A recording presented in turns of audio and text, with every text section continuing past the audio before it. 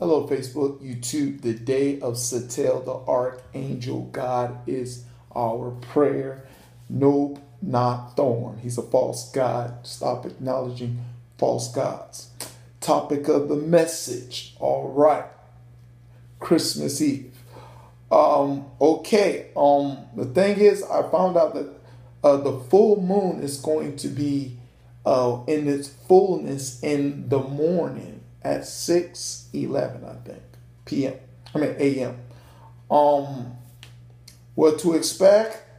I don't know. I never, we never been, I never been to this place. But the thing is, like I tell people, I follow the signs of what's really going on concerning the high places and uh, a lot of things, you know, like I do videos on. And what I'm thinking maybe that something might happen after Christmas, you know, and, you know, um, who knows what's going to happen, but prepare for everything or anything pretty much. Um, don't be shocked if you see something cra- crazy and drastically spiritually crazy. But the topic of the message is very important. I know Christ to the masses, you know. Uh, we and I ended I ended on, you know, Christmas Day, you know, in Christ to the masses on Christmas Day.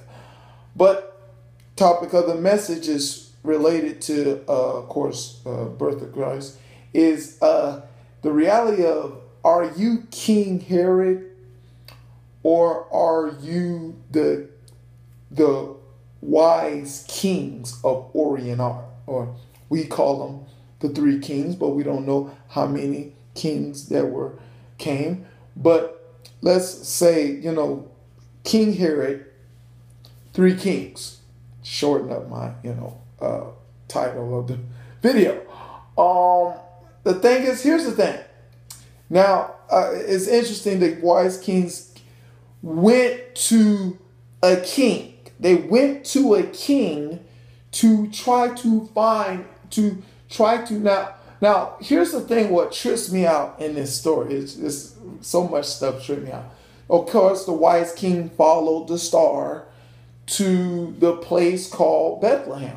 But for but but but the wise king uh, first went to the kingdom, you know, or went to a natural kingdom and they uh, uh, you know the king here is like okay what brings you here? Uh, or the you know they tell him the prophecy of the uh, uh, risen king. And and king herod was like risen king? You know like uh, this this person is supposed to be taking my spot? Yeah.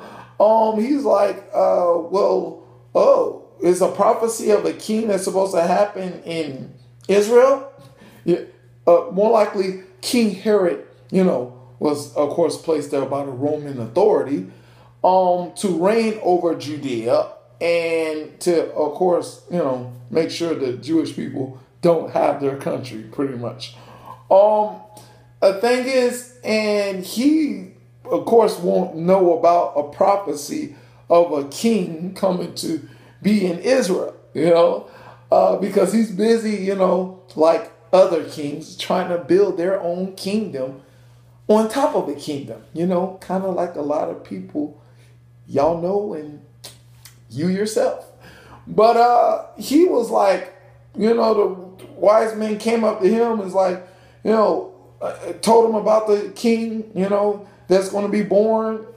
And King Herod like, you know, uh, asked the wise men if they find the king, uh, go back, back and report to him, and he will go and worship the king. You know, uh, if you knew, if you did your history on King Herod, this dude has some serious, serious problems.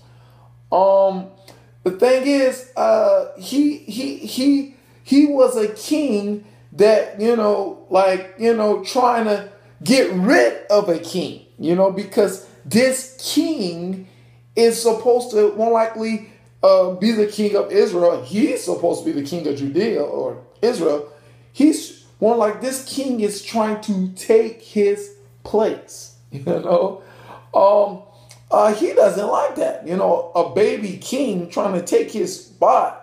Oh no! And the Bible says that King Herod sent people, you know, soldiers away to kill, you know, the two to three year old people. You know, killing killing up two to three, you know, year old male childs.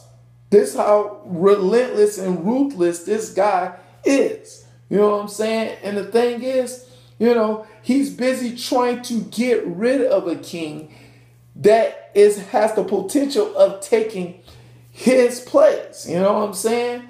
And the thing is, we like, hmm, are we like King Herod? Well, here's the thing, you know, that people don't realize the logistics of the idea of, first of all, Jesus Christ. Jesus Christ is the Word. He's the Word, according to what John says. And, you know, He's the Word of God. Yeah, He's the Word of God. Now, um, if the, we receive, hear and receive the Word of God and try to get it developed in our hearts, and, and that Word of God is more likely is trying to tell us to live contrary to the way that we live according to our me, myself, and I worship our flesh. You know what I'm saying? The cursed Trinity.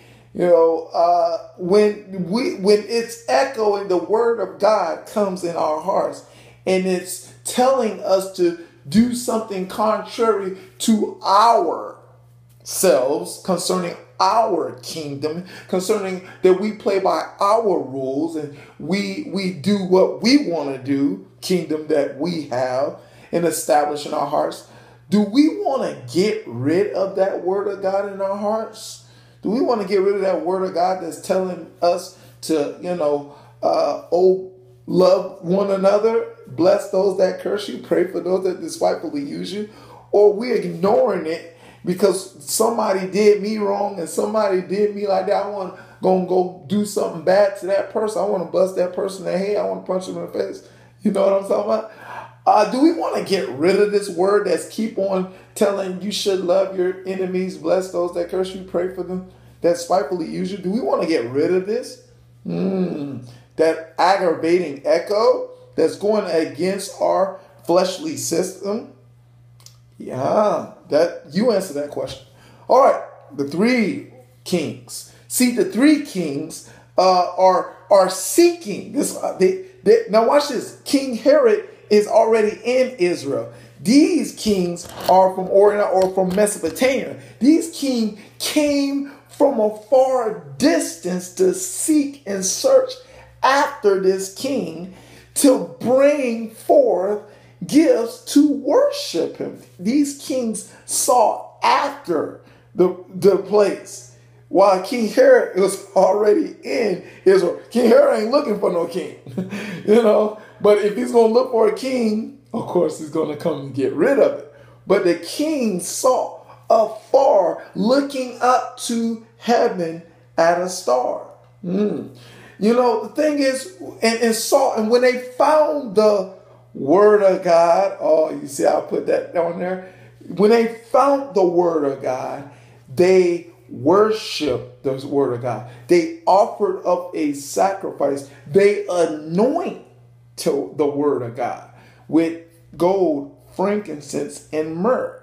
Ah, and now they worship him. They're now they're giving this to this uh, baby boy, and now they um now to help that baby to help that baby boy to prosper or more likely to help the word of God to prosper.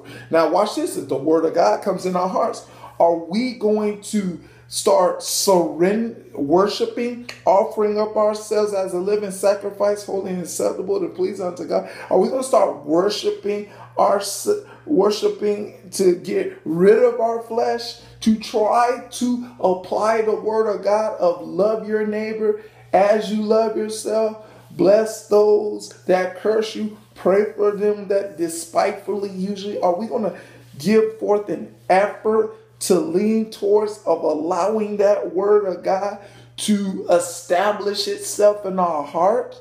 Or are we going to be seeking after to get rid of this word of God and do what the heck we want to do and kill babies, kill, you know, futures, kill kill people future with our tongue, kill people future with our actions, kill people. Are we going to be about killing somebody or we going to be about worshiping the one that's going to help save humanity? That's going to help bring salvation and deliverance to people. The word of God that's in your heart has the capability to save whosoever that needs light, needs hope, needs joy, needs everything that it needs based upon that it was created by the made in the image and the likeness of God. This this this word inside of you it can help do great things, but it can't do great things when the king is trying to kill it.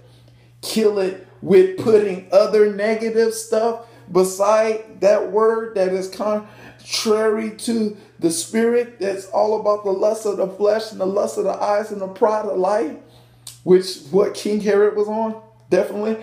Um it's no it's all about building. Ooh, it's all about building a kingdom yeah building the, this word of god jesus christ is all about building a kingdom of god in your heart that is all about getting rid of you, or more likely what Jesus says, denying of yourself and taking your cross and follow him. You know what I'm saying? To uh, get rid of your you to in, to what what John 3:30, less of you and more of him is what the agenda of this word of God was placed in your heart to pretty much do. But that's the topic of the message.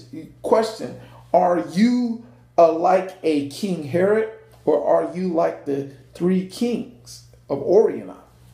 But I hope you got the understanding of the message. Forgive me if, if there was four kings or eight kings or whatever. That's the message. To God be the glory. Him forever. In Jesus' name, amen.